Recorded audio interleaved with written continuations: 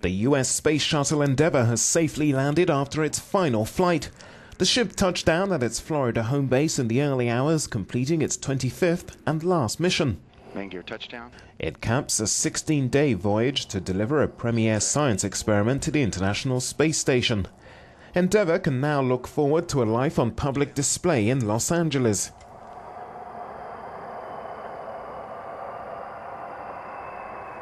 The United States is retiring its three ship fleet due to high operating costs and to free up funds to develop new spacecraft that can travel beyond the space station's 220 mile high orbit.